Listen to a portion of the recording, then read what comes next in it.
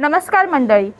दक्षिण मुंबईतील ताडदेव परिसरामध्ये अष्टभुजा वागेश्वरी समाज कल्याण केंद्र या ठिकाणी आपण उपस्थित आहोत.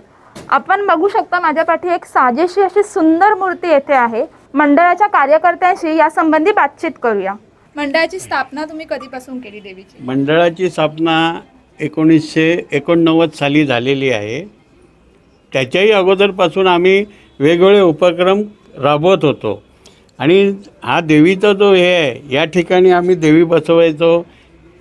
बी एम सीने आम्हाला थोडा सहकार्य केलं आणि मग हे बांधून दिलं आम्हाला. आणि त्याच ठिकाणी आम्ही आता देवी बसवतो गेली बावीस वर्षे झाली. काय?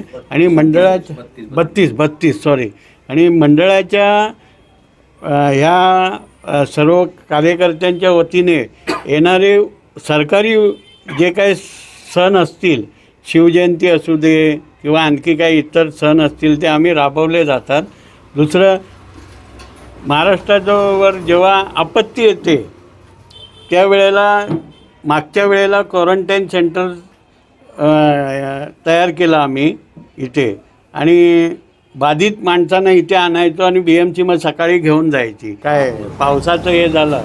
त्यावेळेला आम्ही इथून मदत कोल्हापूरला पाठवली. ह्या वेळेला आम्ही महाड चिपळूण. या ठिकाणी स्वतः ह्या लोकांनी सर्वांनी जाऊन स्वतः घरोघरी जाऊन वस्तू दिल्या.